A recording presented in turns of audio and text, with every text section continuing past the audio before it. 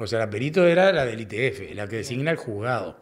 Y ella tampoco vio indicios de abuso, la doctora Nin, la psicóloga forense. La psicóloga forense lo que trabajó, como lo hacen siempre, y lo hacen muy bien, nosotros nos conocemos todos en el Poder Judicial, y la realidad es que obviamente describió una situación conflictiva en la familia.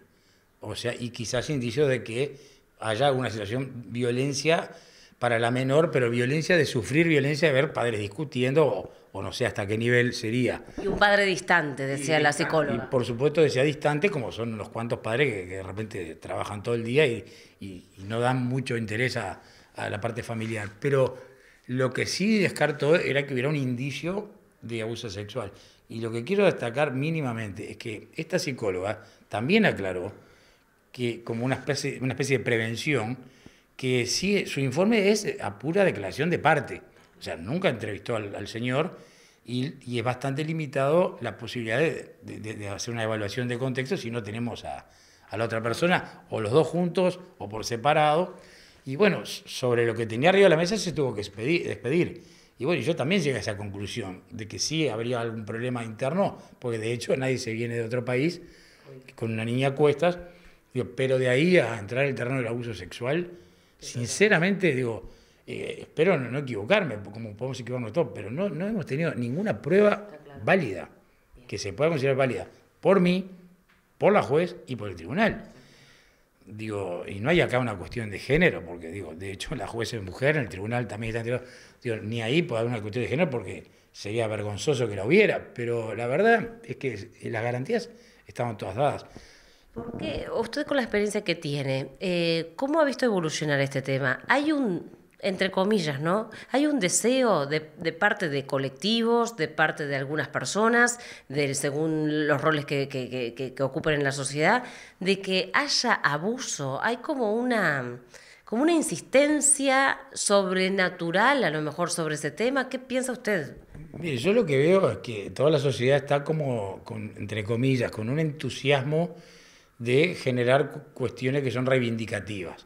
Entonces yo entiendo que es tremendo el problema de violencia doméstica. Yo asumí como defensor en violencia doméstica cuando recién se creó la ley y no existía una defensoría, o sea, vi dos años el tema, pero tampoco podemos ver ni en cada hombre un eventual abusador, ni en cada mujer una eventual abusadora. Es decir, son gente que, bueno, si en algún momento presentan un evento de abuso o un evento de violencia, bueno, serán abusadores, serán violentos pero no es una cuestión del género, ya es prácticamente una condición para un, para un lado de abusador y para otro lado de víctima. ¿Pero hay esa, esa insistencia para usted? Para mí hay una insistencia clara, porque en este tema este, yo lo primero sintomático que vi es que ningún colectivo de los que se han movilizado, insisto, legítimamente de acuerdo a sus intereses, se tomó la molestia de preguntar qué, qué pensaba el defensor del menor en este tema, que vaya, vaya omisión. Entonces era como un tema de que, bueno, eh, todo esto ya está dado por cierto y salimos todos corriendo para aquel lado y el que piensa distinto, poco menos que es un insensible o un inmoral. Entonces se está estigmatizando eh, de repente una persona sin saber realmente las cosas y hay un cierto, yo lo que veo que en general en muchas cosas, no solo en este tema, hay como una especie de entusiasmo por, por lo reivindicativo, aunque no haya mucho a veces para reivindicar, y bueno, se da con las razas, las cuestiones raciales, se da con las cuestiones religiosas, se da, eh, ahora tenemos a, a, los obispos Turla reivindicando, digo, tenemos a la cuestión afrodescendiente, tenemos la cuestión sexual, pero una cosa es que existan discriminaciones, que las han existido siempre, y haya que luchar contra ellas, y otra cosa es que veamos en, cada persona un discriminador eventual.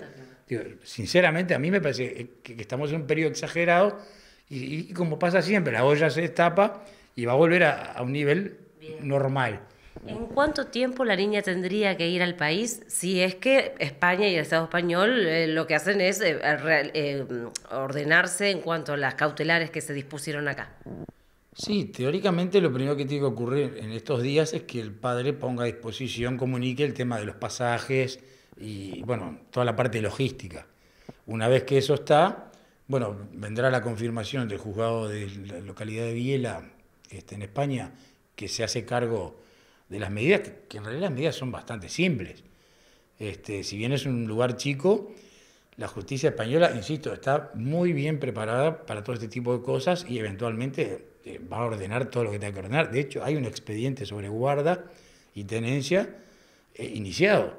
Pero esto es otro tema, digo, esto se va a averiguar y bueno, se harán todas las investigaciones, que eso lo tiene que hacer el juego español y eso es lo que se ha perdido de vista.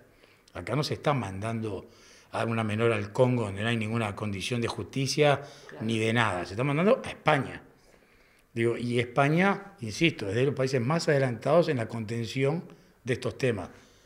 Que bueno, que puedan haber errores en todo el sistema, siempre lo van a haberlo, pero no, no se está mandando una menor a un lugar sin ninguna garantía. Pero el padre, ¿qué tiene que hacer con los pasajes?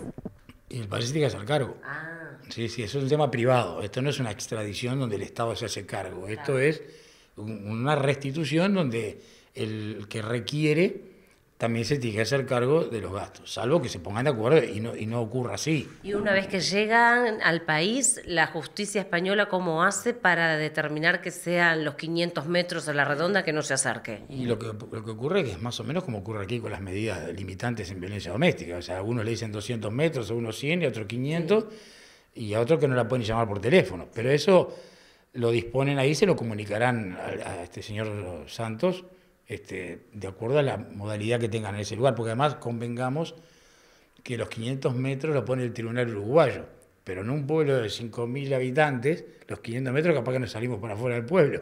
No, digo, digo esto en broma, pero no es lo mismo 500 metros en Barcelona o Madrid que 500 metros en Viela. Entonces capaz que la justicia española ajusta las cosas, digo, porque capaz que coincide que, que, no puede ir a trabajar porque el hospital le queda 300 metros. No lo sé. pero eso es un tema instrumental, eso ya ni siquiera es jurídico. Pero en cuanto llegan allá, la policía tiene que implementar la orden dispuesta por la justicia. Por la orden del juzgado. Que no sé cómo la instrumentan estrictamente para esa localidad. Bien. O este, capaz que toman alguna medida extra, porque eso es lo mínimo que pide el tribunal de acá. El juzgado español puede agregarle cosas de acuerdo a cómo vea eh, la situación, eh, no lo que no puede sacarle. Y en eso va a girar el tema. Esto es lo mínimo. Perfecto. ¿Sí? ¿Con esto alcanza, doctor?